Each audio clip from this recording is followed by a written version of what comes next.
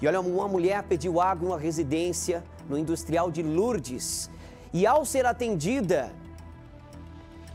a mulher acabou levando o celular do morador.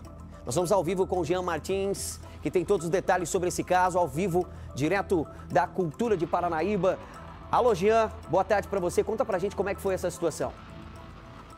Rodrigo, boa tarde a todos que acompanham o Pulseiro de Prata. Olha, é isso mesmo. Ela foi mal lisa, né? Aproveitou ali da boa ação do, do morador e levou o aparelho celular. Segundo a ocorrência, o homem de 59 anos procurou a delegacia por volta das 9h15 de ontem informando que é morador do bairro industrial de Lourdes e na data de ontem estava de boa em sua casa, quando por volta das 8h30, uma mulher conhecida da vítima é, entrou ali no imóvel, ela teve o seu nome informado aí à polícia, né? Ela teria entrado ali no imóvel e pedido água, um copo d'água. Oh, me, me arruma um copo d'água.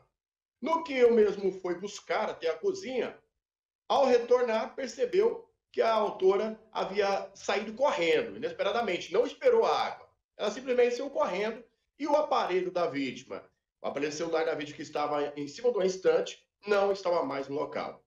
Acrescenta ainda que a referida mulher é conhecida como esposa de um homem ali popular no bairro, que teve o apelido aí informado à polícia também.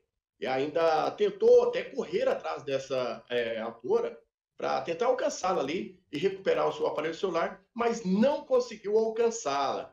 E assim, constatando ali o furto, ele procurou a delegacia para registrar a ocorrência. O aparelho celular em questão é um Samsung, que não teve o modelo revelado, mas é um aparelho Samsung de cor preta, Rodrigo. Ela foi ligeira, pediu água, é um golpe, né? É um golpe. Malandra, agora vai ter que é, explicar aí para a polícia que já está com todos os dados, identificação dela, do marido aí, e ela vai, no mínimo, ser autuada aí por apropriação indébita, né? Mas o fato é esse, Rodrigo.